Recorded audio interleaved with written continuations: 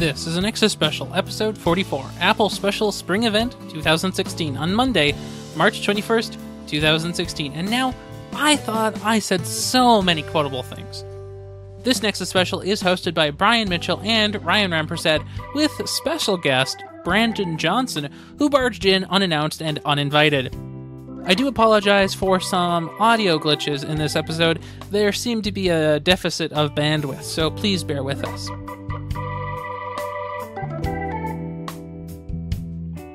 Hi guys. Hello. Hi, So it sounds like So- there's so- some sort of a Apple event we have to talk about today. that's right. Yes, this will be the the spring laterish March 2016 iOS event. Yeah, it's vaguely iPhone, iOS-ish. Yeah. Yeah, iPhone, iPad, and Watch. All those good things. tvOS, Watch Yeah. Band event. There was some tvOS stuff going on there too. We actually just up- updated our Apple TV, so I think it's safe to say that there's a couple of things we can talk about there. Just a few things. Indeed. So I guess the first thing I'd like to start out with is uh, a rundown of a couple of the kind of recap or event in review posts that I saw, and uh, I think uh, a couple of other us have put some stuff in the in the notes here. Yep. Uh, about because some people are doing some really cool stuff about it. Uh, the first one I want to call out is uh, Stephen Hackett's 512 Pixels, uh, which is a blog that sometimes goes into the um, what I'd kind of describe as the more like designy and like uh, retro aspects of Mac hardware. So 512 pixels is the um, screen size of the original Macintosh, if I'm not mistaken. Um, it's amazing to think of how far we've come from there, eh? Uh, but Stephen's post is really rather interesting. Uh, he gives a rundown of everything that was updated, uh, and he takes it from a really interesting perspective. So I'd highly recommend it. And then another of the ones that I'd like to point out is iMore's. Um, one thing about iMore is that they are very verge-ish in their um, in their uh, ads. So if you uh, do not like your content to be obscured by mostly ads, uh, you might want to take appropriate action uh, for that. But if you like to support iMore uh, by encouraging them to continue to use obnoxious uh, takeover ads that even they, the editorial staff of iMore, seem to dislike, um, then don't turn on your ad blocker, I guess. But they're uh, they're for all the criticism I just gave their uh, their business side, um, the post is really cool. And they also are pretty comprehensive, and they've got some fun videos from Rene Ritchie and I believe Serenity Caldwell too, who is a really awesome writer over at iMore. Uh, and they, in addition to being really comprehensive, are just really cool folks. So give that one a read too. And of course, you have the Verge rundown, which is very short, written by a bunch of people, and it has some nice pictures in it. That's about it. The Indeed. Verge says hi. Yeah, that's that's pretty much all the Verge can do at this point. It says hi halfway down the page after you've seen the full page ad for the, the new yeah, yes, or and the, and the seven full bleed images, right? Right. So I guess we should start going uh, through the keynote today, uh, because if you somehow did not read one of those rundowns and recaps already, and you actually wanted to listen to this show, let's begin. Right. So uh, there are a couple different things. Uh, I guess it might be important to lead off with we're kind of following the uh, the timeline of the keynote. So if you want to watch around, uh, watch along with us, I don't know if you would or not, but if you would, this could read kind of like a director's cut, except for none of us are directors of the keynote. No, So, we're more of uh, Mystery bad Science Theater pundits. 3000. Bad pundits. Yeah, bad pundits. That's you. Mhm. Well, you know. Um, so the first the first two are kind of fun, but I want Ryan to read these because he came up with some really fun uh, kind of mnemonics for these. I did. What- so what is it, Ryan? Well, when uh, Tim Cook, our, our good good friend Tim Cook, came out on stage today, he didn't open with his traditional sales numbers and how wonderful the stores are doing. No, instead he talked about something closer to home, something closer to the homeland, which is of course the current battle of encryption that Apple is going through with the FBI. And so my uh, my my joke was EncrypTIM uh, which is uh, clever because you know Tim and uh, the T and the I and the M, something like that. Uh, incidentally, the story has developed further today, and apparently the FBI are trying to run away now, and so that's pretty funny. I guess we'll have to talk about that on a, another show sometime soon. Indeed, you'd think that if we had an Apple focused show, there might be something I wonder what particular that that we can. Yeah, Yeah, I don't I don't know. Maybe maybe you would have to make it like a pod kit or something. yeah, sounds about right. Yeah. Let's do it. So then we also have here the EnvironmenTIM.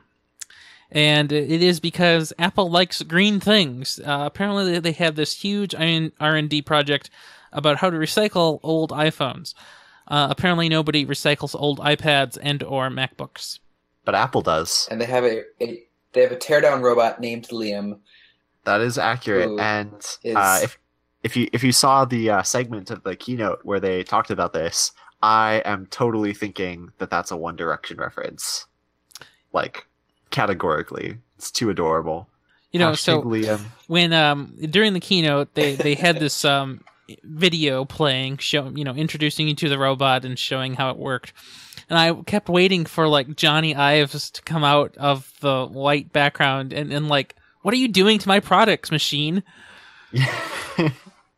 so true. so that's pretty cool uh environments are important So, so I hear. So I yeah, hear. and actually, one one more notable environment thing. They announced uh, 93% of their worldwide power is generated from renewable sources. oh right and so Um, that also brings up another point It was five or seven countries are completely renewable, including the U.S. Uh, I want to say the UK, maybe, or it was Australia. I know. I I, think um, um, Austria was in there, but Austria doesn't have any Apple stores, so it's probably just like one office. But it's renewable. Yeah, but you still have to pay tax. So, uh, the, incidentally, during that same little segment, they, they showed a, a uh, like a, a skyline view of Singapore, and they had Right. an, uh, an overview image of the city, and they said, "Oh, well, we installed 800 solar panels to power one office," and I'm I'm I'm not quite sure how that works. like they bought I have. It 800 sounded almost like they they paid for solar to go in and go back to the grid, and they just tapped into the grid. So they're putting in about as much power as they're using, but it's not direct one to one. Still, they Yeah, bought that's what it 800 sounds buildings If you're putting of solar roofs. panels on tops of dozens of buildings, you can't really wire that No, no, in no, of any efficient way. Right, yeah, absolutely. So I thought that was pretty interesting. totally. I think They that also had a photo. Of, So I, I think that you know one one of the things that's pretty likely about that, at least at least from from what I've heard, is that like for for a company like Apple with such astronomic cash on hand, like just saying, "Hey, we'll take over your roof and uh, put solar panels on it," um, that's you know that's something that they could definitely afford to do, even though it looks pretty pretty ludicrous when you when you take the sky the bird's eye view. Yeah, that's kind of what I was thinking. It's interesting, but it's also, yeah, as you say, ridiculous. and they also had a photo of, uh, and I think it was China. They Yep. had a bunch of solar panels, and they had a bunch of yaks underneath eating the grass and and in yaks.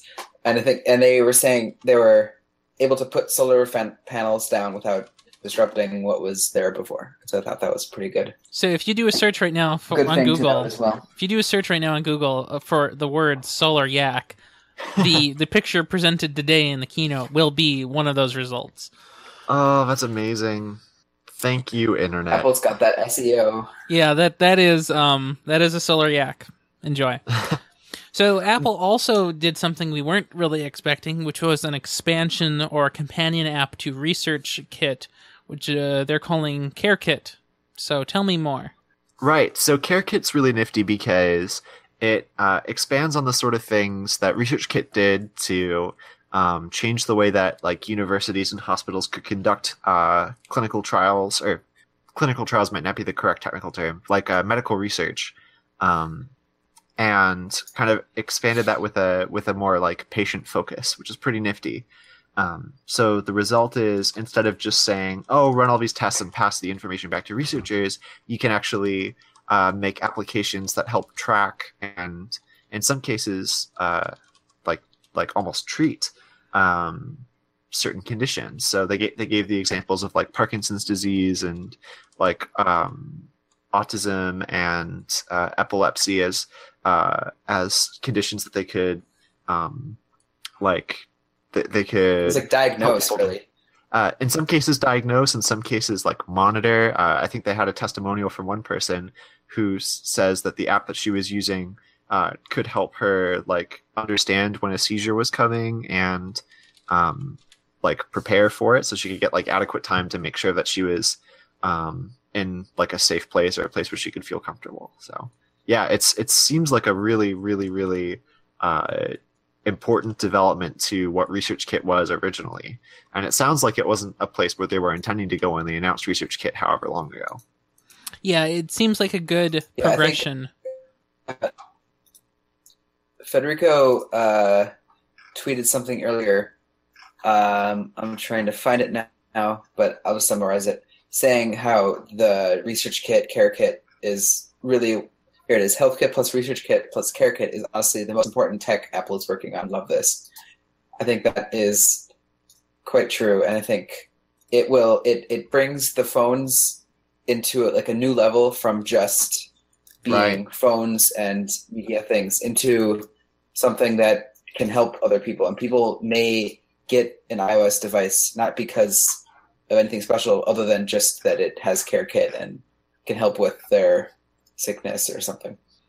You know, Absolutely. I love the idea of it, but for me, because I live in a multi-platform world, it annoys me that it's locked to one platform. It's a great idea. It makes sense that all vendors should Open offer source. something like it. Yeah, it's open source, but you know nobody else is going to implement it. It would be nifty if they would, though. But you're right; Yeah. they're, they're not going to because You it's know- all written in Cocoa for there- Cocoa frameworks. There is that. So yeah. hmm Yeah. Yep. That's a whole other episode It- talking it- about it- Apple's open source. It is a whole nother episode. so, but on this episode, we should talk about Apple Watch bands. We should indeed. So Apple announced a couple of different uh, new watch bands, including but not limited to the woven nylon, which is kind of seen, at least in my eyes, as a competitor to the sport band. Um, in fact, there's one in particular that I've got my eye on that's really nifty and blue looking. Um, and uh, there was some talk that they might have announced some new partnerships with brands like Hermes or something, but they didn't. Um, at least they didn't, based on my reading and based on my looking at the things um, that came out of it afterwards. Um, but the new bands that came out were pretty nifty. In addition to the woven nylon one, there was also uh, a bunch of new uh, sport band colors that were announced, and later on, uh, some new leather bands as well, which are also looking really nice. Also, a Uh, new s- black Milanese loop. Right, right. I would be Yeah. remiss if, if we didn't But mention I that. think it's- that's pretty. I think it's a little more expensive too. Uh, it is I one believe forty it's nine, like but it's it's the same price as the. No, I think I think the steel because that section says starts at. I think Oh, okay. steel the non-black is like one forty nine. The other one's one ninety nine or something. Nah, it says that. one forty nine here. Maybe it's a different size thing. right. That might be it. Maybe yeah. Yeah. Yep, that's what it is. Yeah, Okay. those uh those bands. You know, how many bands do we have now? Tons. So I think I own three bands, but only I own- one is Apple. I own two bands, both Apple, and I'm probably going to get a third one sometime in the next six months because that blue one. What's your second fine. one? My second one is a red. got the white sport. Right. Uh, so with my watch, I, I have a white sport band. Um, then because all of my Apple products except for uh, my laptops have the red case, if I can if I can find a way to get it. Um, my 5S has a red leather case. My watch has a red watch band, and my iPad has a red sport, uh, smart cover. Uh, so for, for Okay. Christmas, my parents hooked me up with a, uh red sport band, which is pretty neat. I like it a lot. But this woven nylon one, uh, yeah, the blue one is calling out to me. That one or the blue uh, classic buckle. Yeah. Yeah. I'm I I just got in the end of February a a third party NATO style uh, nylon band. So it's not quite like the Apple one. I think the Apple one would is likely going to stay a little higher quality, but the one I have is pretty good. But I'm just I just want to try on one of the woven nylon ones just to see, because then maybe I would buy that one too. I just want to say that I am We'll so glad I don't have any part in this. Yeah, Apple's going to make all their money in the accessories for this watch, I bet, because they have so many bands, and I've been eyeing on the classic buckle too, but it's 149. yeah, it's Uh. like that's half the price of the watch. You know, for me, I, I guess I'm I'm I'm too I'm too functional. I want to sell people on function and not form. But Yeah. the form also has a I thought function. Like that too, I- but I, I want to use the sport band when I'm running, and I want to use the woven nylon band when I'm running slightly less fast. yeah, I can see You know. why you might need that ability. yeah, so like when I'm walking, so you know it's totally different when I'm walking to uh, to the grocery store and when I'm when I'm training. When you're for running to the grocery store. my 10k. Yes, exactly. when I'm running to the grocery store, so I can use my Apple Pay to buy my Apple Pay Kool Aid. Yes, exactly. Um, Well, maybe you can afford more Kool Aid by getting a cheaper entry model Apple Watch. ah, yes, indeed. So Apple reduced the price on the 38 millimeter uh, Sport Apple Watch Sport. Uh, so now it's uh, two forty nine, if I recall Mm, correctly. I think the 38 is. Why is it so Sorry, hard to find? It's two ninety nine. Yeah, 299 and the 42 is forty two is yeah. yep, 349 now. So $50 price cut. Wonderful, right? This is going to Yeah, bring know, in so many more people, It right? might sell a few more. It's really going to make the the watch uh, accessible to people who have fifty dollars less, well, and that I thought of that. them want to. I, Yeah, I I think don't know, I it's think in a way what it'll allow people to do is get another band that if they if they hadn't been able to afford or didn't want to splurge for a fifty dollar band, maybe they can just do that now. Right, right. Yeah. That's a very good point because I would, you know, I don't think I would have ever bought another band with my watch. I was already feeling sheepish enough about dropping the money on the watch itself. but- Exactly. Yeah. Yeah. So let's go on to some uh, bigger hardware. indeed. So The, the iPhone SE. SE. What does I'll SE stand for? Uh, sweet and extreme. That again? swaggy, swaggy especially. Oh my gosh. Super excellent. Yeah, I feel Small. I feel like we've gone down this path uh, before. I don't know. Yeah, We it have- a little familiar. It's uh, it's never any less entertaining. Yeah, but I still don't know what it means. Okay, so let's talk about it. What do we have? So, a brief overview of this is it's essentially an iPhone 5S case um, with the addition of the rose gold color and gold color. I don't think the 5S had those, though I could be wrong, so don't quote me on that. We did have Um, the gold, but not the rose gold. Okay. Um, but the inside is more or less the same as the iPhone 6S with a four inch display because it's a iPhone 5S case, and it does not have um, forced or 3D touch. Sorry. So the display is the same. On the site it's saying has full RGB sRGB standard. Does that bit come? Does anyone know? Well, uh, whether that was on the 5S. Well, this is the SE. I don't know if the five. Let's see if the 5S is still on Apple site. Probably I, not. yeah, I don't. I don't think the 5S has that. I think it's uh, a little bit of a lower resolution screen than that. That's for sure. well, the resolution's the same as far as I can tell. But Oh, really? the the the, Yeah. the, the the actual panel might just be newer and better. Right. That's Yeah, I think that's, it- I uh, think better it- description. It has, but yeah, it comes with the A9 chips, the 64 same 64-bit uh, embedded M9 motion coprocessor.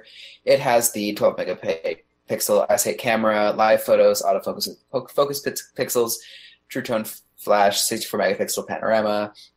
Um, same kind of stuff. The hybrid IR filter. I don't think that was on the iPhone 5s. Does it have Um, um does it have that uh, slow mo stuff? Yep, it has the slow mo. So the um, same slow mo as the iPhone 6 has had. The 6 and 6 has had the same. So that's 120p, uh, or sorry, 120 frames per second at 1080p and 240 frames per second at 720p. And it can record 4K at 30 frames per second. Um, yeah, let's see. It has um, the FaceTime HD camera is 1.2 megapixels I think the 6S has a 5 megapixel. Oh, that might be the iPad Pro. That's another thing I should look at because I think high resolution front facing cameras in our day of selfies is kind of important. Indeed, indeed. So, uh, a couple more things I have to say about the iPhone SE is that um, the presenter who was talking about this at the keynote uh, really positioned this as a phone that helps people get into uh, iPhones or get into Yep. smartphones, Mhm. but mostly iPhones. Um, he mentioned particularly that it's nice for emerging markets Yep. like uh, like China, where um, that's that form factor of a phone seems to be doing really well for them, um, and also in America too, where you want you want to get people hooked on smartphones. Well, the way to do it is to not uh, not sell them the big multi thousand dollar flagship. It's to uh, kind of start small in more ways than one, it seems, or at least that's what they were. Uh, that's the way they were describing it. Yeah, I And, would I would uh, agree with that. Yeah, it's. I mean, heck, I slightly embarrassed to say it perhaps, but I'm actually looking at the SE as a potential replacement for my 5S because I don't know if I could uh, stick it out for uh, for the seven, and I don't know if I really want to uh, to uh, hop on the six uh, the six form factor because gosh darn do I ever like the size of my uh, of my iPhone 5S right here. So uh, pretty- speaking of affording things, let's talk about the pricing. ah yes, So the iPhone SE starts at six three ninety nine, and sixty four for four ninety nine. So that's quite a bit cheaper than the iPhone 6s is sixteen gigabytes for what is this? This is blind six forty nine, I think. Maybe. I think that's right. I'm pulling up the pricing page myself. Uh, and a d- correction from before, the iPhone 6s 1.2. And I'm comparing them right now, so I'm just double checking differences. The iPhone SE has a uh, slightly lower contrast, 800 to 1 versus the iPhone 6s, 1400 to 1. Right. Um, same brightness though. All uh, the iPhone 6, 6s, and all the pluses and SE all have sRGB standard. Um, nice. Oh, interesting. The all the phones except for the SE have dual domain pixels for wide viewing angles. SE is not. Is that it's not an IPS display, or is dual domain pixels something else that they've introduced? I think that might Don't be a new thing. Okay. Right. Well, no, it's I- been since the iPhone six, hmm so I'm not sure. Or they're just trying to make it sound better on the better ones. That's fair. That's totally fair. hmm So I think the price on this is really interesting. Three ninety nine is the territory in which people can afford to buy a phone outright immediately.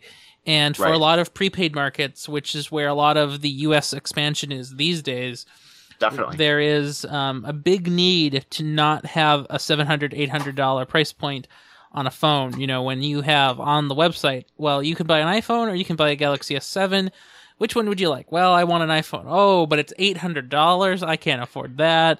Oh but now Yeah. it's, but now it's only 400 and maybe you can. So that it's much easier to to get into that market. Um, but beside that i think it's also interesting that they have done what we've wanted for years and it took them this long to do it so you know years and years ago we always imagined that they would totally make a cheaper iphone well it's not really a cheaper iphone it's the same iphone we've had all along it's just cheaper to make now so that it's not as doesn't have to be as expensive Right. Right. Yeah, I think it's I think it's really good that they're they're putting the A9 in there, Yeah. but taking out other features Mhm. because it's going to age the phone much much better. Yep. And so you know, a lower resolution front facing camera. It has the first gen fingerprint sensor rather than the second. nobody so will you know, small things like that. That yeah, the people aren't going to say, "Oh, I should have paid two hundred fifty dollars more to get that." For. Exactly. We're having speed because this this phone could last four years, like a 6S now could last four years. It might be bad in four years, but if iPhone SE was the same specs as the iPhone, wouldn't last five years. So so sorry, what four years. what do we think So the I think it's very important that it's yeah go ahead yeah cutting the features Mhm. that um, make it still worth a lot, but worth getting at the same time. That that was disconnected. so what do you, what do we think You go, Ryan. what do we think the timeline for this phone is so when do we get the next one I bet it's going to be two years.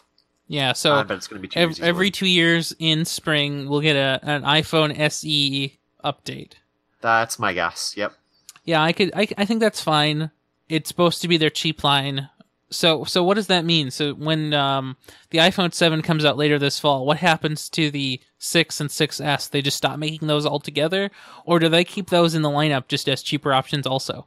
I bet that's gonna that's gonna cease to become a thing. I bet they're gonna try to pull the iPhones into a similar pattern as the um, as the MacBooks, right? And you just sell you sell the current MacBooks, right? And uh, that allows you to have a, a different kind of flexibility than the iPhone line has had in the past. Yeah, but maybe. that's just wishful thinking. But when you think about that, they spent the last two years uh, with the machining, and it's all free now. They have it done. It's ready to go. Why not just keep it around? Uh, from a marketing perspective, as I tend to approach these things, I just I think it's more parallel to do it uh, to do it this way, and it's easier to easier to talk about. And they've got the capital around; they can make new machines whenever they want. That's true, they do, but it's free now. It's like uh, just just free margins. That's absolutely that's absolutely valid, and that's uh, I would I would actually argue that that's more valid than the thing that I'm saying. So like but I'm saying the thing that I'm saying anyway for reasons I don't fully understand. we didn't get there yet, but if you look at the iPad Pro line right now, and or the the new expanded iPad line rather, it is a jumbled mess of a t- an, an iPad Mini, an iPad Air two, an iPad Mini four, an iPad Pro small one, an iPad Pro big one. There's tons of room for different price And points on iPad these iPhones. too, still. Yeah, so it's not clear to me why they wouldn't keep the iPhone 6 and 6S next re- er, iteration. That's totally fair, If but they because they have the SE, uh huh. I think that if they're still selling the SE, because the SE is, it's yes, it is a four-inch screen, but it's more powerful than the six. Although I guess the six then fits if you want a larger screen, but you don't care as much about speed. Right. So, I I, I would love to see Apple having just the current year's model, and then updating the SE six months later, and updating that every year. So you Mm. have a big and a small, and they're both updated constantly. I think that would be best. But then you lose the. I still don't want to pay that much. I want last year's cheaper model, Right. and so I don't know. It's this is I all could really also see them selling the current, the current larger screens and the year before. So the six, or so next year would be the seven, the six, and the SE two or whatever they end up calling it. SE2. It is The, su- the one that would be based on the A10. such a bad name. Right, right. See, the the last thing I'll say on this topic is that I think that the uh, Schiller, so product marketing, and um, and the the design folks, I bet they have enough sway that uh, on the on the flagship product line that that that sort of thing wouldn't fly. That they'd be willing to make new new machining for for that sort of thing if they thought it would help people understand the product line better and when I say better, I mean that in a way that would be advantageous to their bottom line, but uh, or not to their bottom line, perhaps, but to their to their profits. But yeah. so, uh, speaking of new things, let's talk about some iPads. indeed, indeed. So the iPad Pro uh, sort of got an update today in that uh, there's a new model introduced to the iPad Pro family, which is the 9.7 inch iPad Pro, which is a similar form factor to what the uh, average iPad Air would uh, would have. It's got a couple fancy new features though, uh, like its uh, larger sibling. It has support for uh, the Apple Pencil. It's got a fancy new camera, which is actually higher resolution than the one in its larger sibling. And it also has something they're calling a True Tone screen, which, uh, at least based on my recollection and based on my reading, is unique to this model. So it has uh, apparently better. Um, it, it represents colors in a way that's more uh, accurate to uh, the actual nature of, of uh, the color on the screen, which is uh, pretty nifty if you're a designer type person, or uh, certainly if you're a person like me who has accidentally worked in Adobe Illustrator with Flux turned on, which is not Yeah, don't a do that. Good thing to do because uh, all of a sudden your podcast logos start coming out uh, in strange colors, like don't they, Ryan? orange. Yeah. that- Like that- orange. um, I can tell you a story later about that because it's happened to me too. Yeah. Yep. Um, but it, it's it's pretty nifty, and it also comes with this smart connector uh, for smart accessories like uh, the smart keyboard case that uh, they're selling alongside uh, that they've been selling alongside the Pro for some time now. Uh, So- all in all, it seems like a pretty neat product. So when I'm when I'm going through here the iPad Pro spec listing, it's Mm-hmm. interesting to me how a lot of the listings on the new one, which is the lesser, you know, the less expensive one, how they have Right. more new things. So the uh the 9.7 inch has the True Tone display as you mentioned. It has the same A9X. Um, Right. But then it has all these improved camera things, improved noise reduction, improved face detection, and, and stuff. And uh, it's kind of funny. It has more Absolutely. better video things for some reason, which is kind of interesting. Right. Um, it, it it has some new things, and I'm not sure what the deal is. Like they just didn't have time to get those all last fall in the big model, or do they really intend to update the big model and the small model on staggered schedules? I'm not sure I see the whole picture here yet. I'd agree with you 100%. It seems very, very strange. But- Because the, the new probably better than the 12.9 inch, aside from the larger screen that's on the 12.9 and potentially battery life. I haven't seen that too much.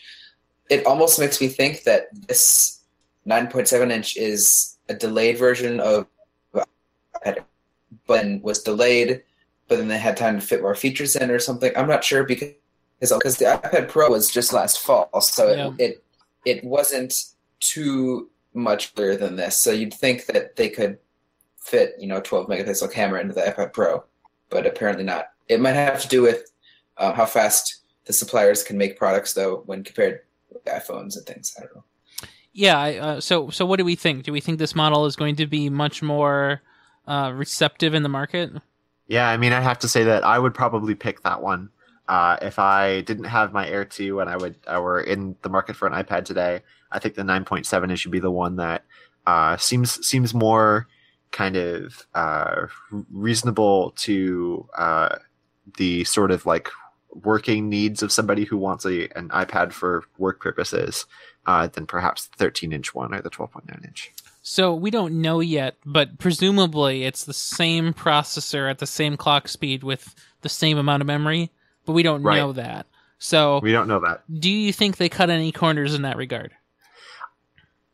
That's a good question. I'm going to say that they probably underclocked the processor slightly, uh, as they've been known to do before with, I believe it was the uh, the Mini that was uh, the Mini 4, which was running the same processor, technically speaking, as the iPad Air 2, but it is a little bit underclocked. I bet they're doing the same thing here, but I bet it's only slightly, and I'm sure the RAM is uh, about the same.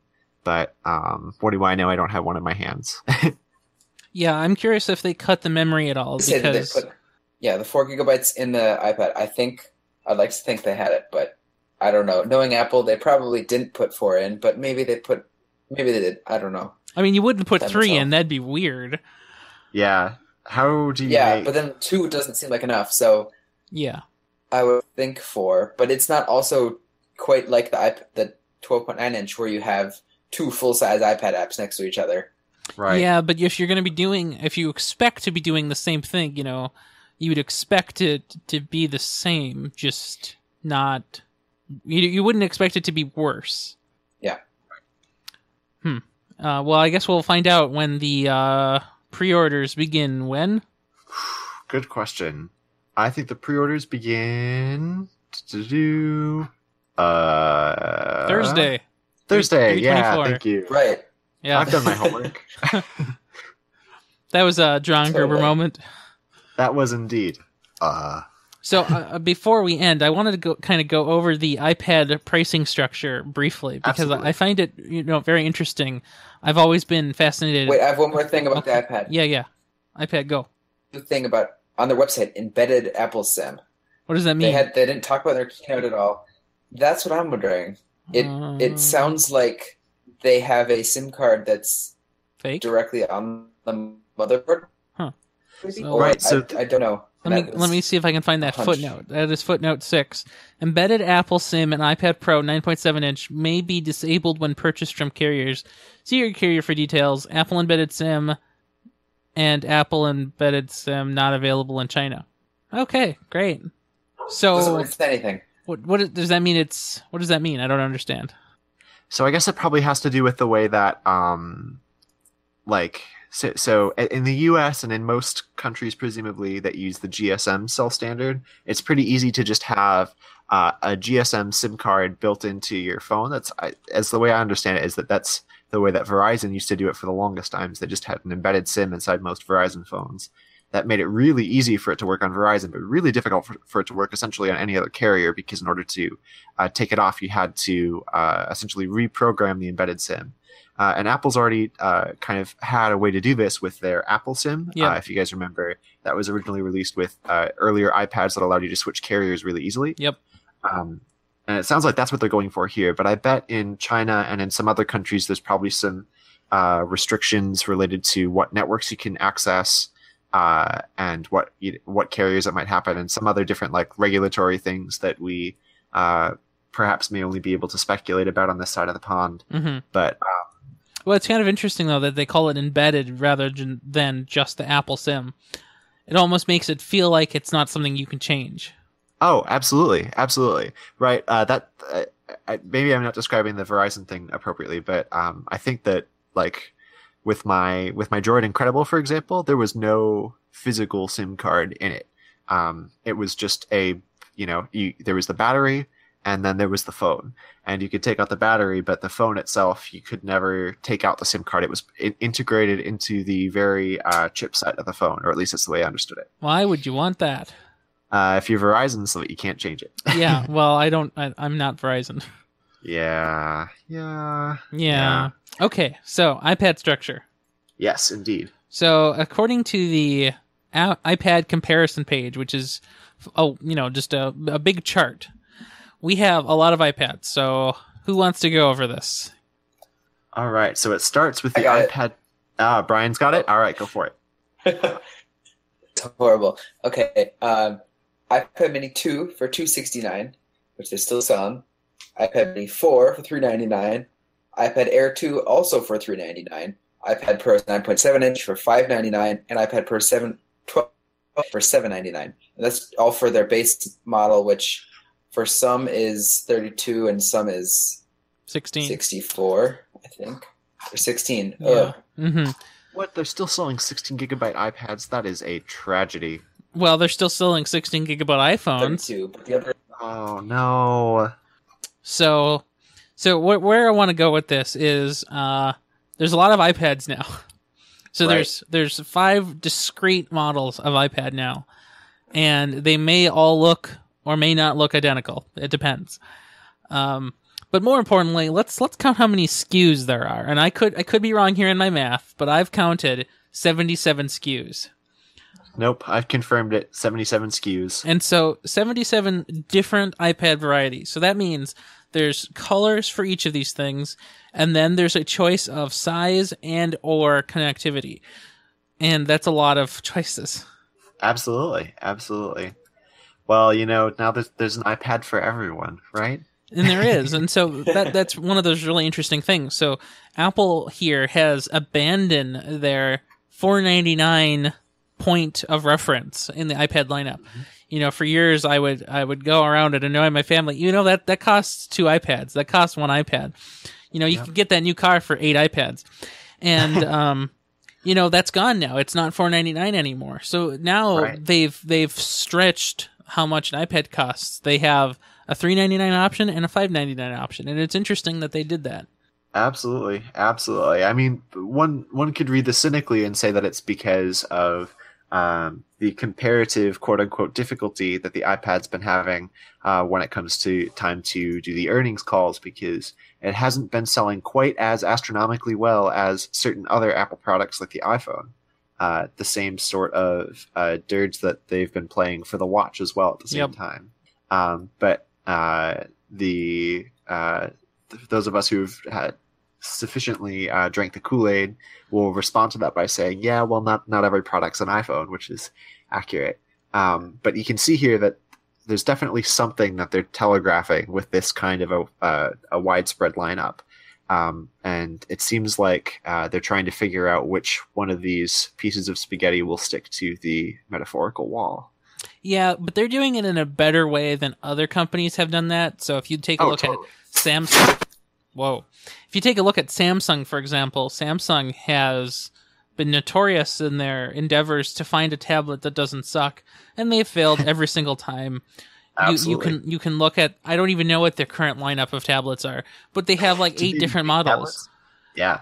So there's that, and let's see what else. Um, most companies don't really have a lot of tablet stuff these days. Pretty much, it's Mhm. either a Surface Pro or Surface or an iPad or an iPad Pro, Right. Uh, or you know some some you know variation of that.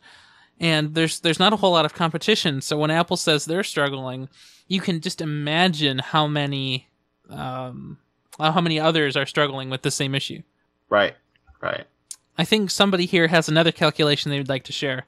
This is uh, your your iPad SKUs. I just think I think someone was saying there are 54 bands that Apple makes now Right. Twitter. Yes, I read could that be too. Off. I really don't. know. And then there are eight watches. So there's 32 and 42 millimeter, two for edition, two for standard, and then there's the four different colors for the sport. So that's eight, and that to- comes up to 648 different combinations for the Apple Watch. Not that I don't Wow. think you can get every band with every watch, although I could be wrong. But Uh, I don't think you can, but awesome. uh, that's close enough. That's close enough. I think it it uh, cancels itself out with some of the other watches that might be because I think you can get more than eight kinds of watches. Because aren't there different tones for the edition? Or I could be wrong about that. Oh, can I get a can I get a watch actually- personally touched by Jony Ive? Probably. that'll be another three thousand dollars. Oh darn! You know, uh, I saw yeah, on Brad, Twitter. I feel like you're right. About, yeah, I saw on Twitter that there's you know uh, Apple you know has been for years kind of haunted by the Steve Jobs four products in a cell quadrant Right. thing. And you know you don't have to be restricted by the SKU count anymore. You know we we're beyond that now. This is a time Right. where everybody understands that there's a reason for the product existing, and they're not so confused by it. But that, nevertheless, it still haunts me that there's so many iPads and so many iPhones and so many watch combinations. The watch thing's a little bit different because it's intentional. Right. I mean, there there are only eight watch types, and then you can just go and buy as many bands as you want. But when you go and buy an iPad, you don't get to get an iPad with Wi-Fi in uh, space gray and then later change it to an iPad with cellular and rose gold. It's not optional. You have to pick. Right. So it's a little different. Yeah.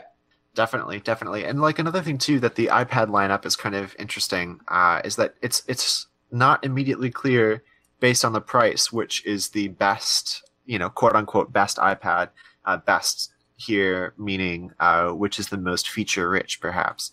Um, so you can Yes. you can get the big one, or you can get the one that's not quite as big, but that seems to have a, a longer spec sheet, or you can get the old one from almost two years ago that, that that's the same size as the big one with the longer specs, but it's two hundred dollars cheaper, right? And the the list goes on from there uh, throughout, as Ryan pointed out, the other seventy seven SKUs.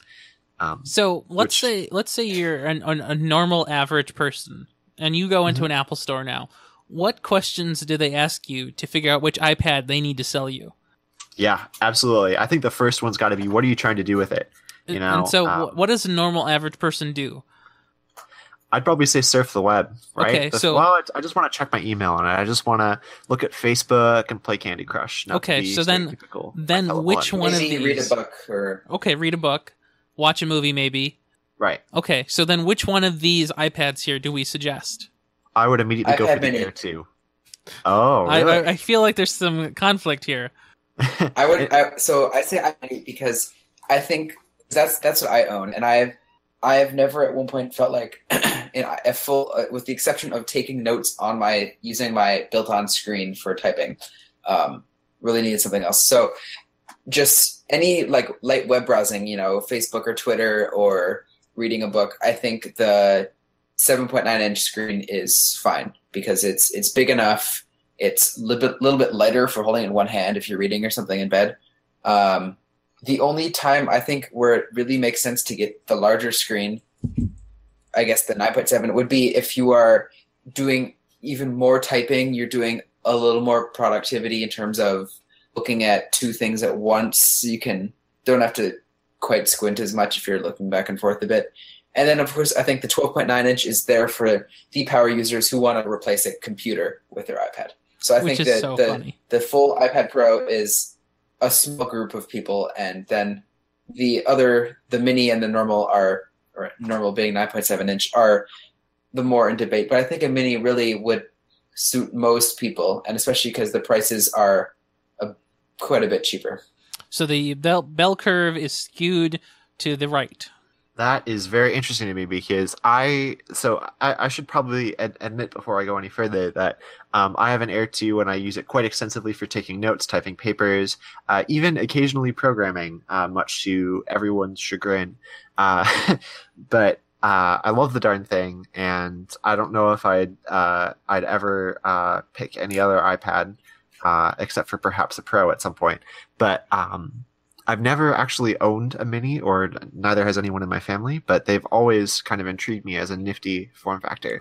Um, and one thing that I think Brian uh, pointed out here that perhaps I didn't catch the first part was that the Air 2 and the Mini 4, as we've discussed before on this very episode, but apparently I wasn't, uh, that didn't stick in my mind, uh, they're actually at the same price point, $399 starting out, um, which is pretty significant because, you know, it, in the most cynical of senses, um, the profit margin may potentially be different between the two of these. In fact, I guess it Probably. probably is Yeah. but it's it's hard to tell from the outside looking in which of these uh, would be considered uh, more important, say, shall we say, for Apple to get rid of, right? How many more of these do they need to move? Uh, I guess I can't I can't say from the outside looking in. I mean, I can't imagine the Yeah, lineup so without I- either of them. I mean, they have to Right. be. I did, I did miss the um, same price there. Yeah, that's a good point. The the CPUs in the Air Two and the Mini Four are roughly the same. The Right. Air Two is A8X versus the iPad Mini Four is A8. So graphics are better on the Air Two. So yeah, at that point, I think it comes more towards: Are you going to be, as you're saying, doing like writing papers and typing and using the iPad for a little more work? And I guess it comes down to are you going to be typing on your screen more than a little bit or just scrolling through lists of web pages. Because how i use mine it's more of like a passive thing. I maybe watch a little a video on there or youtube and scroll through feeds basically. Whereas if you're going to be doing more active work a larger screen is often more useful because you can see things a little better. Right, right. so I think Brandon, you do fall into the, the I think just describe what work you do. I think the 9.7 inch works for what you do, and that's what I would recommend for someone for what if they're describing what you describe your use for. Right, and another part of it I should probably emphasize too is that um, I've I've never seen a mini in uh, in the wild for more than a couple hours. So uh, really, my only frame of ref- reference is the original iPad, uh, which is I think the only other iPad in my house. So the the iPad Gen One from 2009 or 2010, whenever that that came Get out. it out. Don't don't don't don't see it anymore. It's over. Get it out of there. Nope, nope. We're we're keeping it. It's still running. It's a oh my god. it's a it's like a um a gaming machine now for for my dad so Yeah, it's like you, you you play like Will It Turn On Today game. that's one of them that's one of them oh man well this is awesome i think we've And, uh and so just for about my everything, right? no we don't brian has something else go for it sorry, just No my little thing. I've I use a mini. I don't really have. I've had a full. I think he had an iPad mini, an iPad three, but um, he didn't use it a ton around me. So I I'm more used to seeing the mini, and you're more used to seeing the 9.7 inch. So I think that kind of also maybe influencing our ideas. yeah it's interesting stuff for sure interesting stuff you know believe it or not before i got the ipad air uh which i, I think might have been uh, before we all knew each other but um, when i when i ordered my ipad air 2 i was very close to ordering a mini Uh, but once I saw that keynote and I saw how the uh, the iPad Mini 3, may it rest in peace, was uh, so ludicrously out uh, out uh, outstripped by the Air 2, Yep. I just couldn't couldn't convince myself to do it. Uh, and I, I couldn't convince Yeah. myself to get a Mini 2. As awesome as that tablet was, I couldn't convince myself to do it, knowing that I'd be kicking myself every darn day as I was trying to take notes on uh, on that uh, what what is it? Almost five year old iPad now. so Yeah, Yeah, I think if I were in your in your position, I would definitely have gotten the iPad Air as well. My iPad Mini two, the when they announced the iPad Air in two, and they're they have the same CPU, except the Mini two has 100 megahertz slower, so and a slightly worse display. So the Air and the Mini two are roughly the same, whereas Yeah. the Mini three and the Air two are a whole generation apart. So I've got Right. one more question for you. Do you think the iPad Air 2 and the Mini 4 will be upgraded later this year? that's a good one. Uh, I'm not 100 percent sure. The whole I, way, I did not hear that. uh, will they I'm be not 100% upgraded later this year? The Air 2 and the Mini 4. Okay. Hmm. What do you think, Brian? Probably not. I well, I'm graduating in a month and a half, So I, I I use it a bit for school. So it's a nice light device I can carry to campus when I don't have my MacBook with me because that's Right. heavier and takes up more space. And so it's it's a nice light thing that I can load a PDF for on that I need in class or something like that. Quick check a website, check Moodle or something. So it I don't use it too much around the house. It sits in my backpack until I go to campus the next day or if I need to charge it overnight. So I don't think I'll be buying one unless I really get into iOS development or something. I don't see myself buying a new iPad until this thing is completely obsolete. Mhm. Do you think, Brian, that this uh, that these two, the Mini Four and the Air Two, will be upgraded by Apple at any point in the next year or so? Do you think that Apple will What do you update them? Like, do you well, think so will that there be an Air lines- three Oh. and a Mini five? In other words, Yeah, yeah. Oh, um, maybe I th- the Pro 9.7 inch is now going to be the the 9.7 inch iPad. I they must they have to be releasing a new Mini, but I think it would be an iPad Pro Mini, not a iPad Mini. I don't know. I I'm not quite sure. that'd be I'm weird.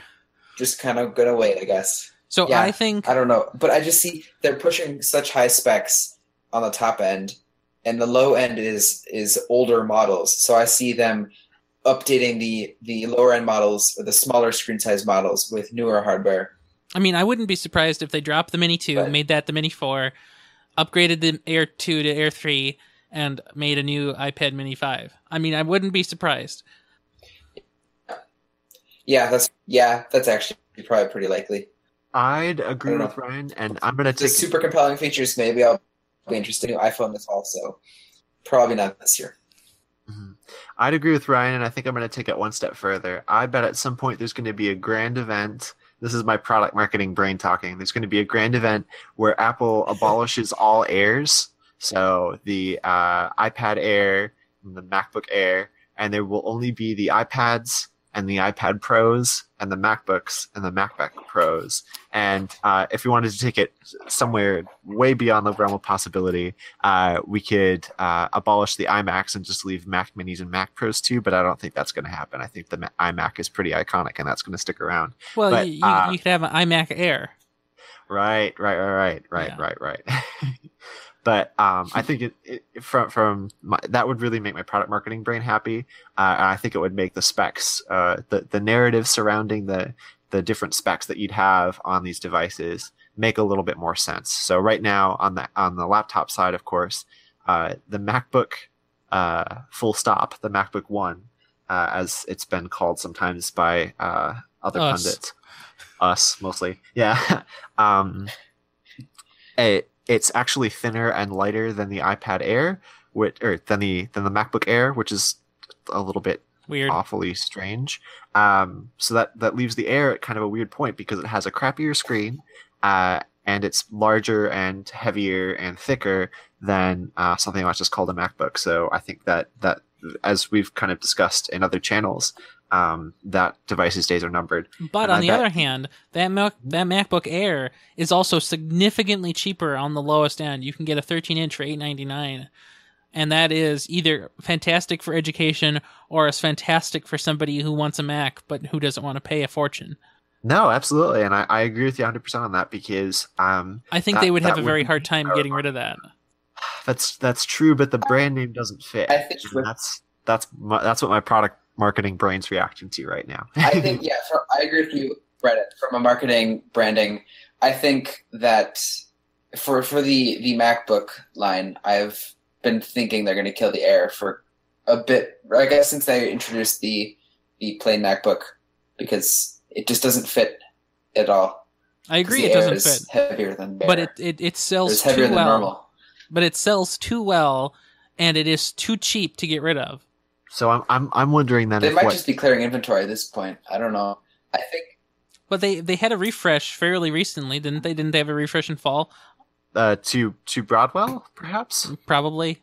Yeah, I think I think you're right about that. But I guess maybe what what I should clarify that the something that looks very similar to the current MacBook Air might stick around, but I don't think it'll be called a MacBook Air anymore. That's okay. I bet they're going to shift it around, and that that will that could be like a MacBook uh, a MacBook Basic. I don't know. Mac, uh, Oh dear. uh, you know, like the like the as as you mentioned, kind of like the entry level MacBook. Well, they need then- then- something.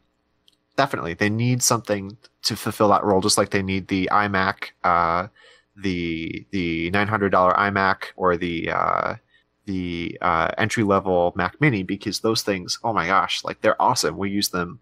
Uh, uh, I, I've seen them used all, all over the place on on campus. Uh, I should uh, I should clarify there that my office does not use those in that capacity. But I looked it up. The have- uh, the most recent MacBook Air release was in early 15, and it is indeed Right. using Broadwell. Nice. Ah, yeah. Score one for my brain. nice. But I, th- I think you're right that, that that that product itself fulfills a need. I don't think that it fits the Air brand any longer, and I think that Phil Sch- that makes Phil Schiller Yeah. sad, and he's gonna fix it. He's I mean, gonna fix it. Gosh It's darn it. it's so weird that the MacBook One has a weaker processor but a better screen, and there's no in between that and then the Pro lineup, which is bigger and better in all the regards. Absolutely. My hypothesis is going to be that every every Mac is going to look closer to the MacBook uh, One right now, and the Air looks close enough to the MacBook One that I bet it could stick around, but it can't be called the Air anymore because it's no longer light. What if they call that the MacBook One? I would be okay with that. I'd That'd be be alright weird that. too. Yeah, indeed. We will have to wait and see for WWDC when they will likely release a whole new MacBook line. Hopefully, Yeah, or, or September, or September. They might they might keep it until uh, until the fall. Who knows? they are not allowed to do that. They must release. They bet they better not. I don't have that kind of Just to time. So wh- one last one last thing I'll add here before we before we go. Did you guys catch the intro video for uh, at this keynote? I caught some of it, although my computer was still loading the stream at that point. It sounded like they were going to announce something on April first. Did you guys catch what that might have been? I didn't Um, see it, and I didn't see anyone writing about it. It was the 40th Um, anniversary. I thought, no, I thought it, oh, right, April that was first it. is the first, Right, so April 40th first. anniversary Macintosh with Yep, 40th anniversary. uh, whatever fancy speaker system. Yeah. that was in the 20th century or 20th anniversary one. Right, right, right. It's a Bose, the Bose speaker system, as always. Oh no, that would be really cool. I, Yeah, um, yeah, they, they will never do that though. indeed. Yeah, I don't Uh, think but A- Apple doesn't want to touch April 1st. but Apple has a Twitter account now, so maybe they'll be all over the Twitter sphere. That's true. That's yeah, because it's 10 years old. Well, before we age any further, I think we should wrap the show up. indeed, indeed. So, where can we find you on the internet? All right. Yes, where can we find you on the internet, Brian? Uh, you can find me just about anywhere, but especially on on 4789 or Tech4789 uh, or my website, bman. No, no, not that. Uh, brianm.me, and where you can find a paid project WeatherBot, which just uh, hit 1.0 on Sunday, technically Monday. So Right. yeah, sorry, no, Sunday, Saturday, technically Sunday. Yeah. I remember seeing your tweet about that. It was quite nifty. So Brian's Weatherbot is now available on GitHub, which is pretty slick. Uh, he wrote some awesome release notes, as he mentioned, and you can find that all on his GitHub page, which is accessible from his Twitter profile, which is accessible from his page on the Nexus.tv. That's right. Yeah. Uh, I, on the other hand, am uh, Brandon Johnson. You can find me on the internet uh, at various places by my uh, most frequent username, which is Brandon underscore MN. Uh, you can find me on Twitter, where I talk about things uh, relating to technology, the internet, and society things. I've recently shifted towards talking more about uh, CrisisCom in particular. Uh, most recently, I've been ranting about stuff like the SF, uh, the San Francisco uh, Bay Area Rapid Transit System, and the way that they've reacted to some social media reactions to their Twittery things. But if you can't tell, I'm kind of a marketing brain person, so that's where some of my stuff lies nowadays. Uh, additionally, you can find me on Instagram, uh, Brandon underscore MN once again, where I post pictures of trips to California, where I uh, take pictures of mountains which may or may not exist, but are pretty nifty mountains, uh, and I like to keep them there. Also, you can find me on Snapchat by the very same name, uh, and as I mentioned, pretty much any other uh, social network. That's about it for me. But where can we find you, Ryan? Well, you can find me just about anywhere, especially on the Twitter at Ryanamar, and of course on the Google Plus, which is where I post pictures of Brian and I and Ian Buck walking uh, for hours and hours all down a trail near a waterfall without Brandon because he was gallivanting in some other nicer, warmer state. I am so sad to have missed that. Uh, it's okay. We'll Ah. do it again. Indeed. Next time. Well, this has been a good episode. Thanks for coming. As always. Have a good one. Yep. See Have you on the good flip side. Woohoo!